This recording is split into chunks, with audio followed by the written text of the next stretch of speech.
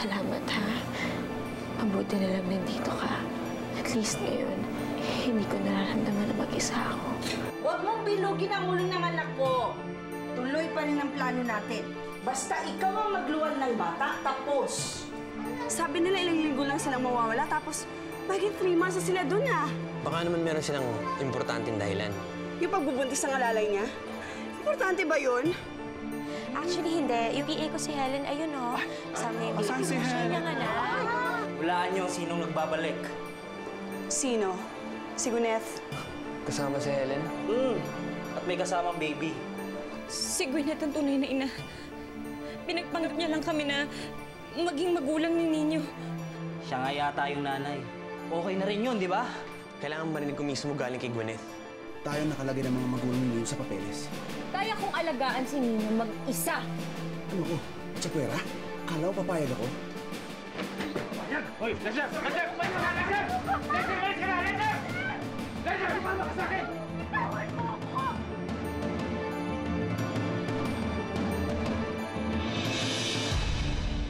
Sa ayaw at sa gusto mo, kasama ako dito! Lester! Ganahan mo ako! Halika! Tama na! Kung sustento lang ang kailangan mo, sa'yo na! Hindi ko kailangan yung pera na yan! Patahimikin mo lang yung pamilya ko! Ano? Teka muna. E paano yung bata kung wala sustento? Hoy, Helen! Hindi ako ang magpapalangon sa inyo! Paula, bilisan mo! Tumawag ka ng polis! Hindi na kailangan. Ang usapan, walang problema.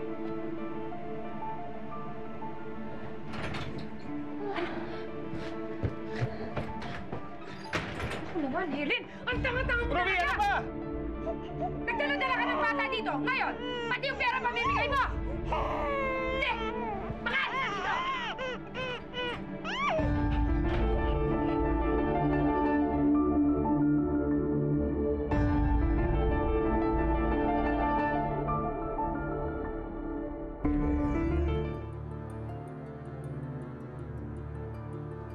Bakit mo pa yan pinasok dito? Hayaway ko na yan sa inyo.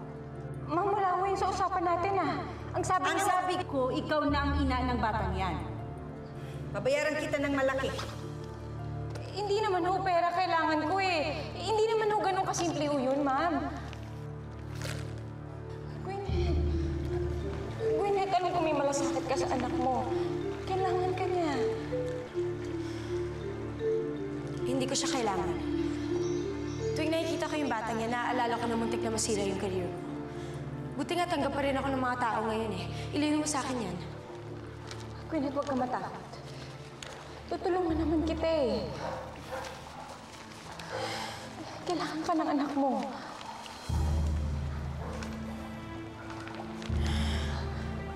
Ma'am. Ma'am, huwag niyo naman iwan sa akin tong bata. Apo niyo to eh. Kung panggastos ang inaalala mo, ha? Huwag mo nang intindihin yon. Hindi mo na kailangan magtrabaho para sa amin. Pero tuloy pa rin ang sweldo mo, may dagdag pa bilang sustento sa bata. Lester, mas alam mo ang gagawin, ha? Mas pinagkatiwalaan kita kaysa dito kay Helen. Buwan-buwan, kukunin mo ang sustento sa akin, ha? Kung gusto niyo magsama na kayo, mag-asawa kayo, wala na akong pakialam. Basta, malinaw, kayo ang magulang ng batang ito. Hindi nagkaanak si Gwyneth. Malinaw ba? Ma'am, huwag niyo hong ipamigay ang bata. Huwag niyo siyang ipamigay na parang laruan lang. Maawa naman kayo sa kanya. Paano paglaki niya? Pag tinanong niya kung sino talaga yung totoo niya mga magulang. Bingi ka ba? Ikaw nga yung nanay ng batang yan. Wala akong anak. Wala. Kung hindi mo kukunin ang bata na yan, ha? Ipaampun ko yan sa iba. Yun ba ang gusto mo?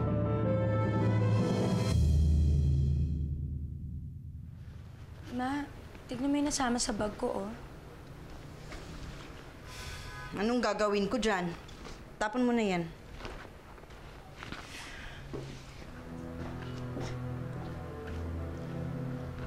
Ma, paano kung magsumbong si Helen?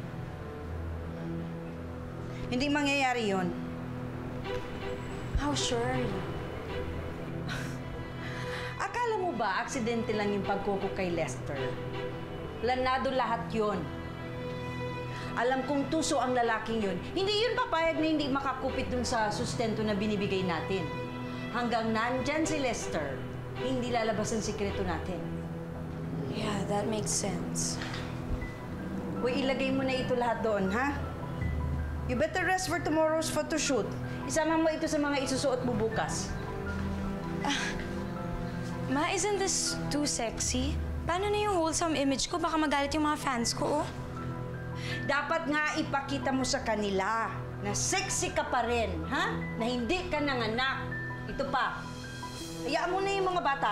Wala namang mga pera yun.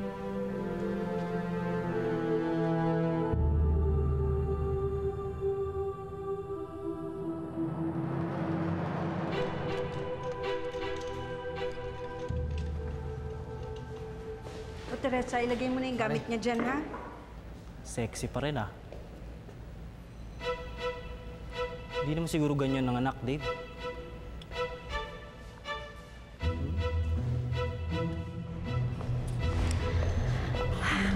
Hi, Dave. How have you been? Hmm, so, kumusta na kayo ni Bianca? Wala na sila. Wow. So, ibig sabihin pwede na tayong, you know, get together.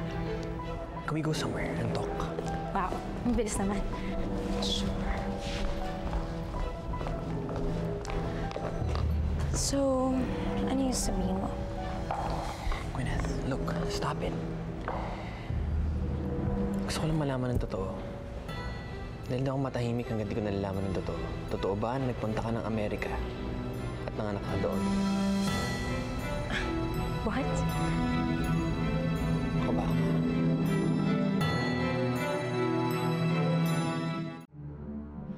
I see you've been reading too much tabloids, huh?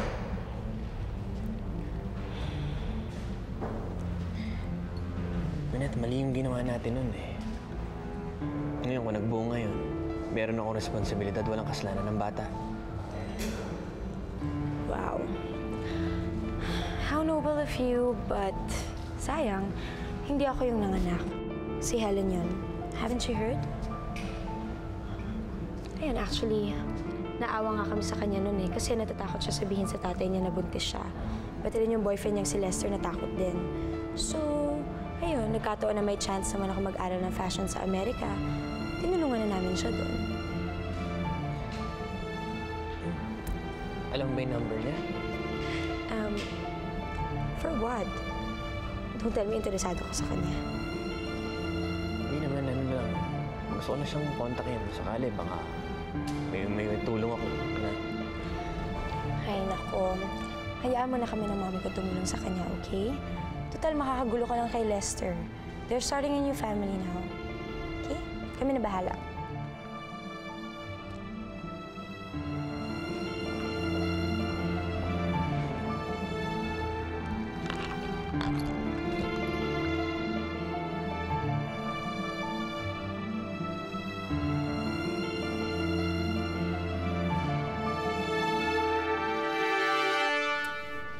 Kumusta ka naman dito nung wala ako? Alam mo, sa totoo lang, nung nawala si Juros, alam ko masama ah, pero gumaan yung loob ko. Kasi naman, si Juros na yun, at least nawala ng kontrabida dito sa bahay. Ate, eh, bakit mo nga pala kinuhat ko si Ninyo? Sabi mo, masama si Gwyneth. Tsaka, bakit mo ba siya pinagtatakpan? Eh, kawawa naman si Ninyo eh. Kung alam mo lang kung paano siya ipagtabuyan sa bahay. Sa tiyan pa nga lang yan eh. Ayaw na siya ng nanay niya. Oh? Eh, hindi mo naman siya responsibilidad eh.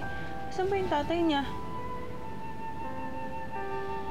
Mabait yung tatay niyan. Disente. Mapagtulong sa kapwa. Sana nga paglaki niya eh, maging kamukha siya ng tatay niya. May gusto ka pala sa tatay ni Ninyo eh. Kaya pala ayaw mong pakasalan si Kuya Lester. Uy, hindi ah. Ito naman. Di ba, sabi natin bawal mag-secret sa isa't isa?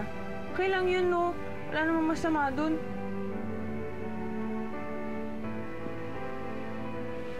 Oh. Eh, alam ko naman na hindi magiging kami, no? Tsaka, magkaiba katayuan namin sa buhay. Alam ko naman na PA lang ni Gwyneth ang tingin niya sa akin. Ngayon, nasa akin na si Ninyo. Eh, tama na yung nakakatulong ako sa bata. Tsaka merong parte niya na sa akin lang. Di ba? Ate, si Dave ba yan? si Dave yan eh. Ay nako, hugasan ko lang itong mga bote. Talaga.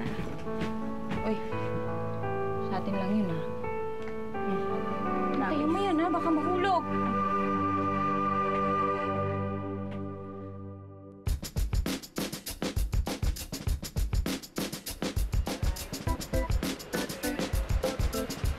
Lalo siyang gumanda ngayon, ano? Pwede mo patanggal natin yung jacket? Eh, sure. Wala namang tinatago yan eh. Gwyneth, take off your jacket. Tanggalin mo yung jacket mo. Amin na yan. Jacket. Oh. Oh. Ang sexy nga niya, parang di siya nanganak. Ay, hindi naman talaga siya nanganak. Chismis lang yun.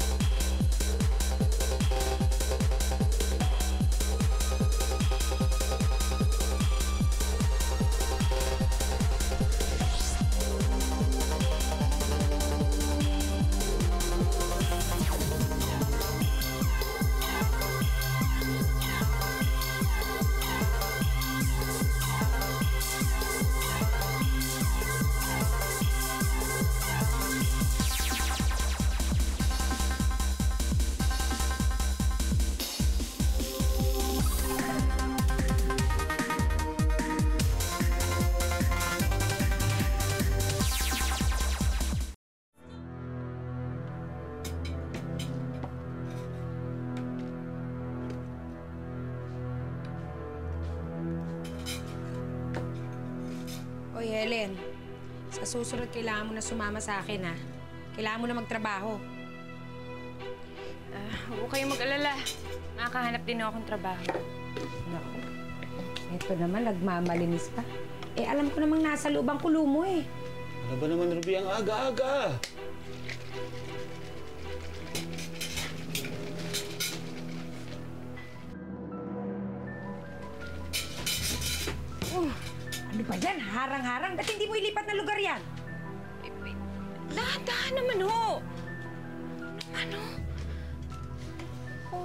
Ka naman.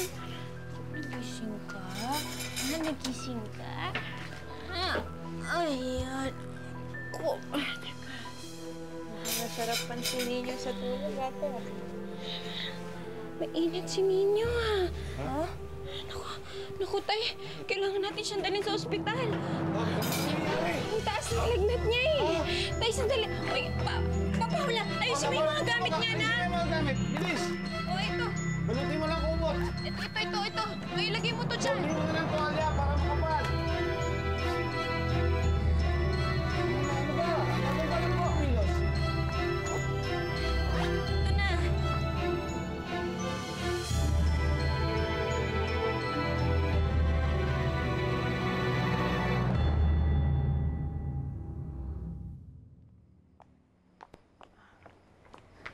Sandali.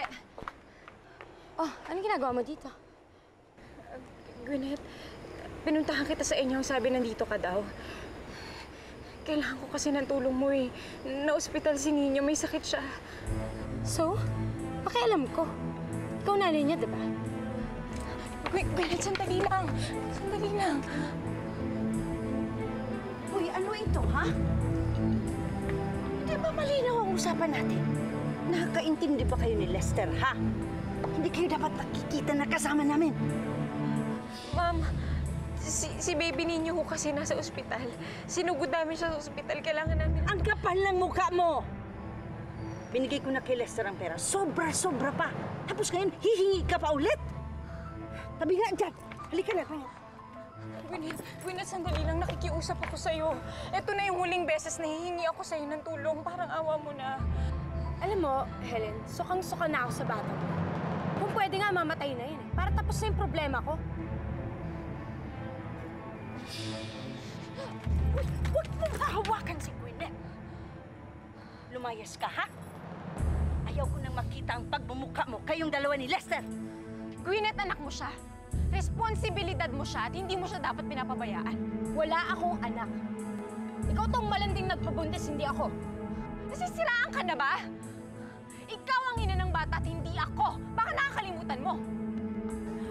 Ka na dito, ha? Lumayas ka na! Sakay na, Gwyneth.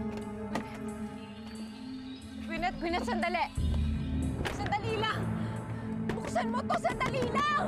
Kausapin mo ako. Buksan mo to, parang awa mo na.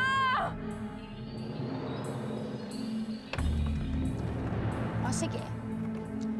Total, sabi mo naman hindi mo anak yung bata. Pwede mo siya dalhin sa ospital, tapos iwan mo na lang siya doon.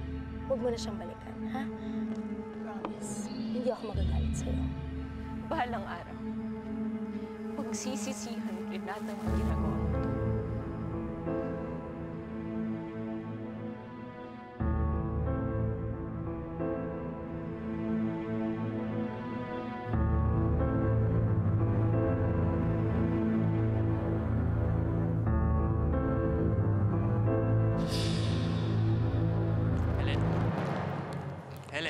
anong nangyari sa'yo? Oh, bakit ka umiyak?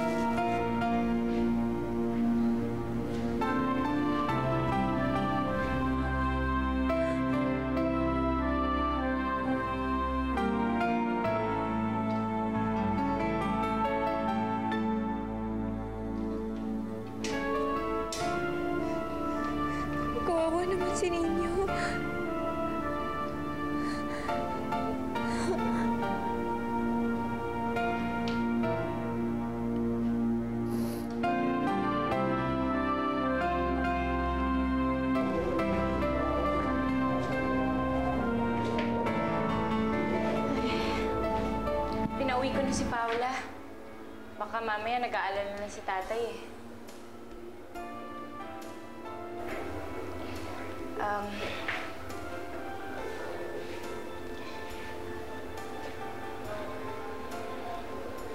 Dave, salamat nga pala. ah.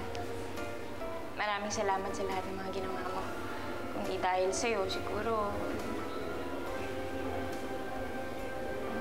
Wala yun. Huwag mo isipin yun. Kamusta ka? Eto, may anak na. Si Lester, ba't wala dito? Wala na siya. Iwalay na kayo? Kamusta si Bianca? Iwalay na rin kami. Si Lester nga pala. Ano nangyari? Hiwalay na kayo ni Bianca?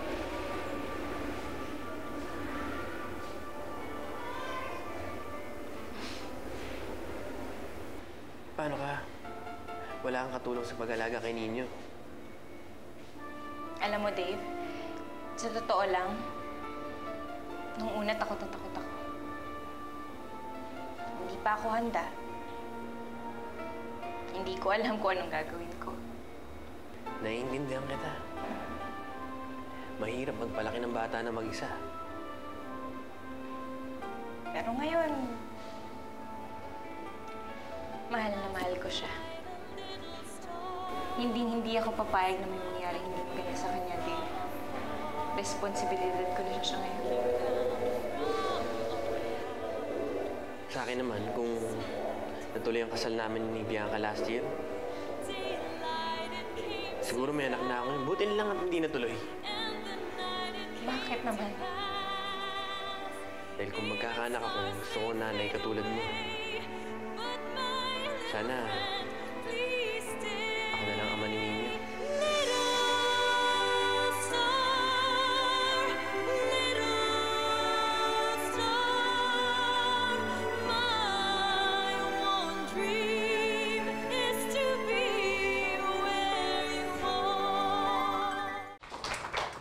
Gwinnett. Hello po. Ano tong chika nga nagninang ka daw sa sarili mong anak? How true? Actually, pinagtatawanan niya namin ng mommy ko.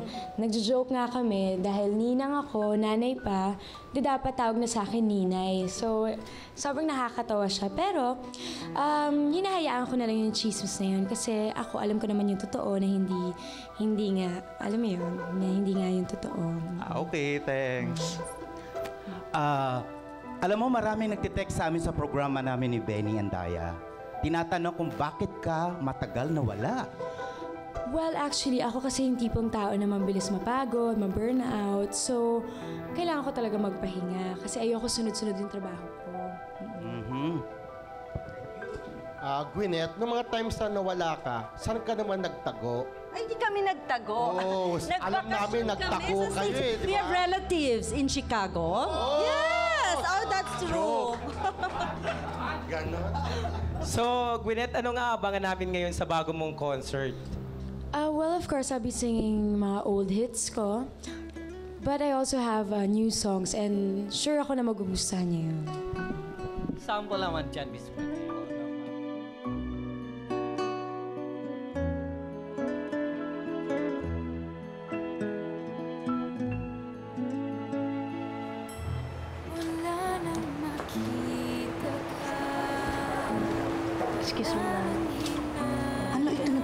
Hindi ko ho alam eh. Pinabibigay lang po sa janitor.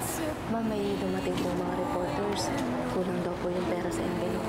Mamaya na. Oh, sige po.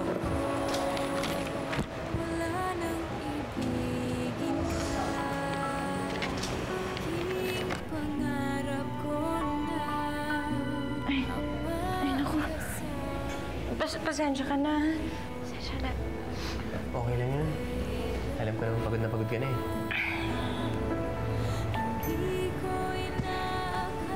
Mr. and Mrs. Estrella. Dok, kamusta po si Nino? Ah, ligtas na si Nino. Mamaya lang po pwede nyo na siyang iuwi. Ah, ipagpatuloy nyo na lang sa bahay yung medication, ha? Talaga ho, naku. Salamat ho, Dok. Thank you po talaga. Sige. Thank you. Ngayon, magaling na si Nino. Siguro mabuti pa, pabinyagan na natin siya na sa ganun hindi siya magkasakit pa uli. Oo tama ka. Mairaos lang, no? Ninong ako ah. Oo naman.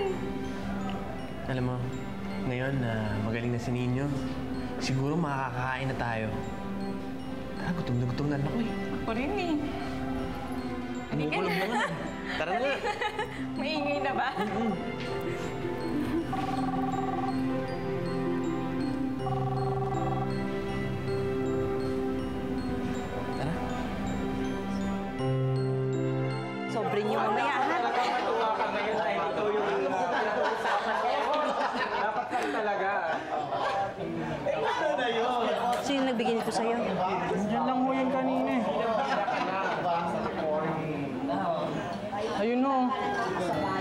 Hong yan.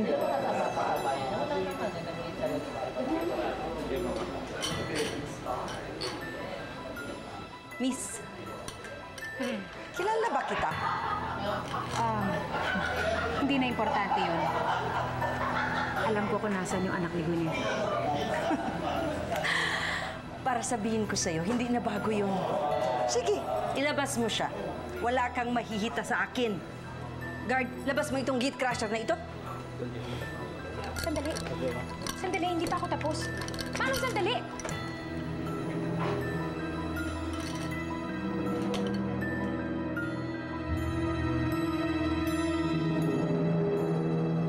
So kaya mula ako naalala dahil nalulungkot ka? Dahil ba nakabalik na si Gunat dito? Ate, ano pa ba ibig sabihin nun? Ikaw ang gusto niyang maging nanay ng anak niya. My God, Dave! Ipagpapalit mo ako sa isang alalay? Marami talaga akong iniisip. Lalong-lalo na to kailangan ko unahin ang binyag nito. Ayoko mawala ng sustento. Ayusin niyo ang gulong yan. Kung ayaw niyong guluhin ko, buhay niyong lahat. Paano nalaman ng mga reporter ang bahay natin? Ako nagsabi. Magsasalita na si Helen. Ano ba talaga ang totoo, Helen? Ano talaga totoo?